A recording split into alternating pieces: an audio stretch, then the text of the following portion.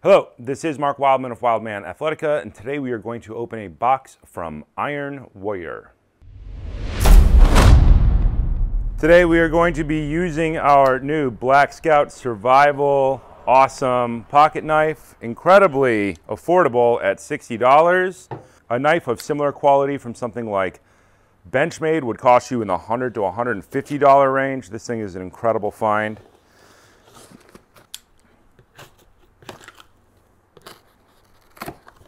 And easy to open. We have foam on the top and we have the unit in the center. Very simple packaging. Love it. Get rid of that box. And this is the Iron Warrior 35 pound, 16 kilogram. First thing we always do is check the corners of the handles. There's a holdover from kettlebell training. If the corners of the handles suck, then you're gonna get eaten up. These are extremely, extremely well finished handles. They have a lot more traction than something like a kettlebell. The corners are what are gonna eat up your hand or the bottom seam right under here. These bottom seams feel really good and so do these outer corners here. Compare it in size to the 55 pound one that we got a week or so ago.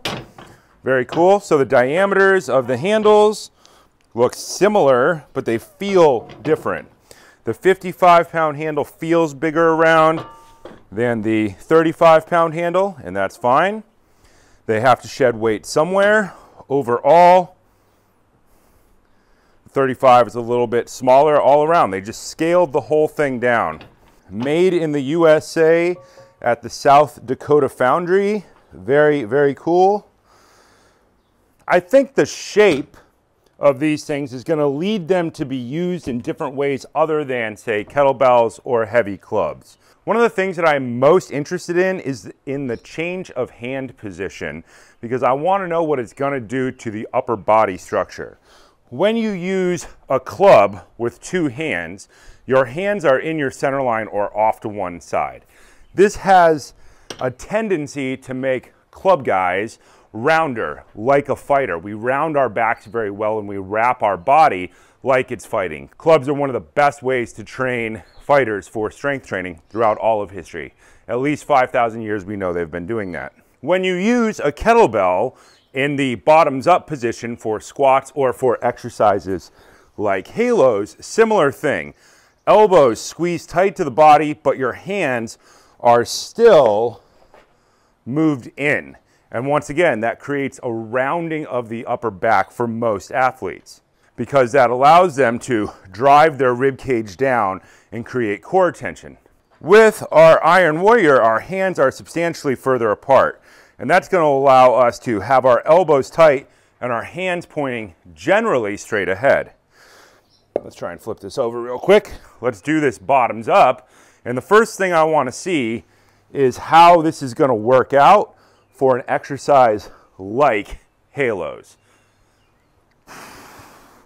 Oh, it's very interesting for the shoulders. It's going to fire those muscles in an entirely different way. You can still resist extension in the back, drive your rib cage down, but your shoulders are gonna be in a very different position than they are with kettlebells or clubs. And the heavier weight, the 55 pound, is even wider. So your, ooh, man, that's interesting. Your elbows are tighter than your hands are now. Now your elbows are in and your hands are slightly outside. Feels like an entirely new exercise when you do it with this. We're most interested in this exercise because it is the basic exercise of all of humanity. It's the exercise that separates us from everything else. The shield cast, top hand going past opposite ear, is the basic movement of swinging hammers, of swinging axes, and of using weapons in every martial art through all of human history. The better we get at that, the more weights we use, the difference, the length of the lever, and the different hand positions that we use with different weights allow us to get better and better at that. That is what the core is designed for. Weight in the front of your body, your back contracts just to keep you stable.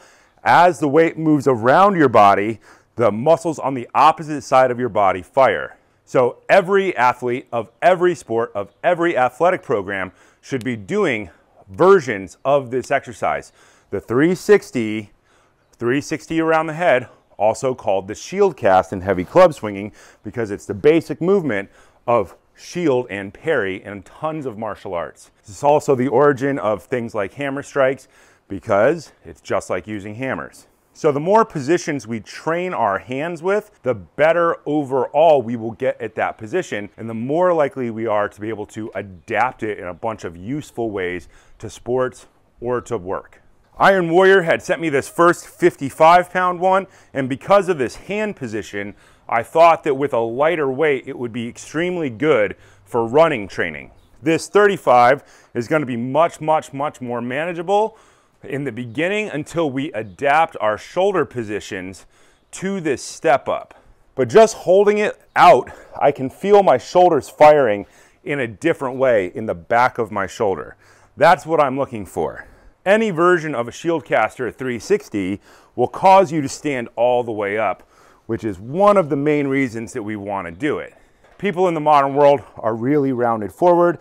When you do a shield cast, you're not going to be able to do it unless you stand up to a neutral spine. So by practicing one version of it with either a kettlebell, a club, or an iron warrior, you will reinforce good standing posture, which is something that we see decay in the modern world as people sit down all the time, as they're on phones and as they work at computers. So thank you very much to Iron Warrior for sending me out this new 35 pound war bell for testing.